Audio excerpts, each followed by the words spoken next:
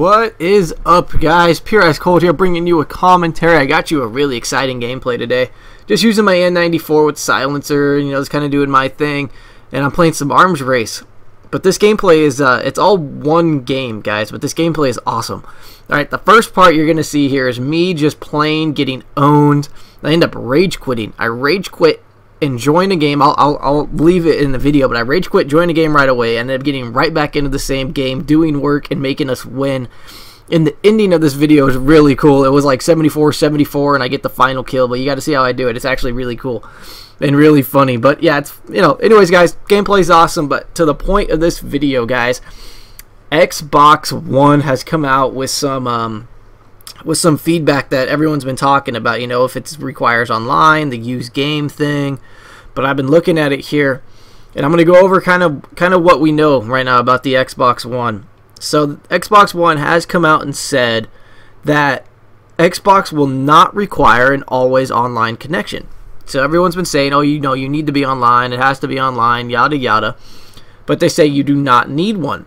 But the catch of that is you do have to log in every 24 hours. All right. So if your internet goes down, you have 24 hours to play, and once that 24 hour mark hits, boom, you can't play your games anymore. It's done. You can't play. You can still watch TV and do all that kind of crap, of course, but you can't play your games.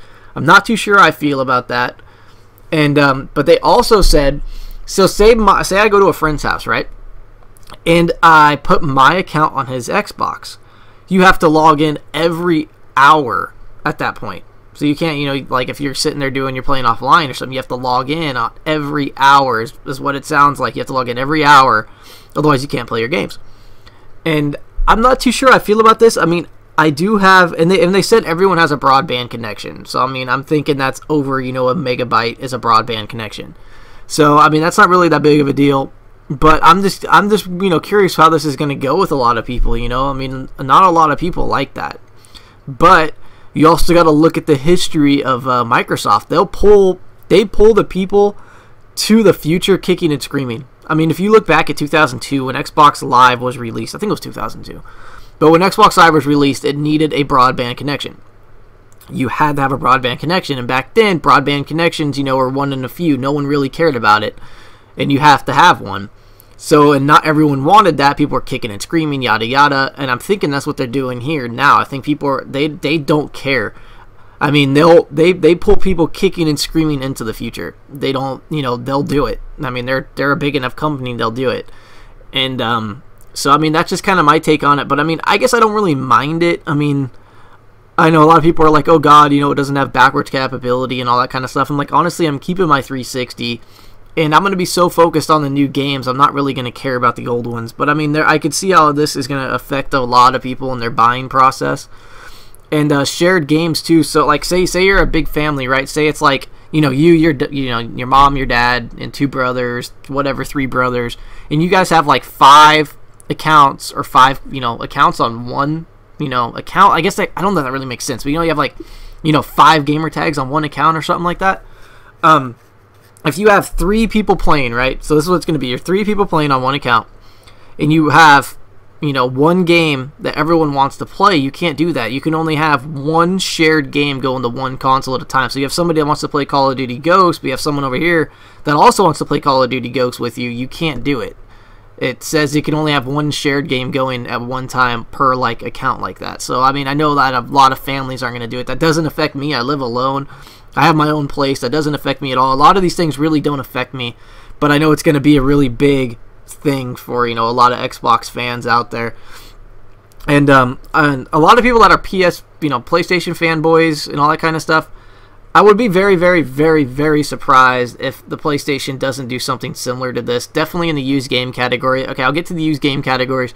Used games and new games you can either you can either buy them digitally like how you can now go in the xbox marketplace and buy your game but you can also buy you can also buy the disc so you still got that kind of stuff but um you cannot trade your games. Okay okay well you can you can. It's all really confusing but okay so me I'll, I'll explain it. Um say i buy a game right and i have a friend on xbox live that says hey let me have that game and I'll give you this game for it. It's like, okay, but your friend has to be on your friends list for at least one month in order to do that, and, and a game can only be traded one time.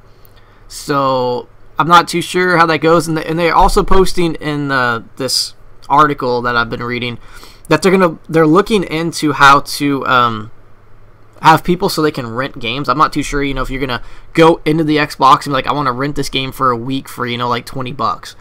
Then you can just play your game. I think that's what it's going to be like. But people like me that do not have the fastest connection and how everything is going digital, and I can't get faster connection where I live, I mean, we're gonna we're gonna suffer by that. I mean, I have like a three meg connection, guys. I do not have a best connection. I mean, it gets me by, but it will definitely lag compared to you know other people out there that have 15 meg connections and download in like two seconds. But I mean, yeah, use games. I'll get back on topic here. Use games. They're gonna they're talking about it, and uh, it's also up to the third party um, game developers, you know, like Ubisoft and Activision and Treyarch, you know, kind of kind of things like that. It's up to them too. It's not Microsoft. It's up to them. So if they want to, they can have an activation fee on their game. I mean, they I don't I don't know if they can also say we want our game traded more than once. I kind of doubt it. But if you want to sell your game or do something like that, they I think they they can they can implement um, activation fees. You know, kind of like what Battlefield 3 has. If you log in, you have to have the online pass. You know, they might do something like that. I'm not 100% sure, but I just, you know, making a video, guys, getting that out there, you know, sharing some uh, information about the Xbox One. But video's wrapping up, guys, and I'm going to let this go a little bit longer. but anyways, guys, that is it, and uh, until next time, later.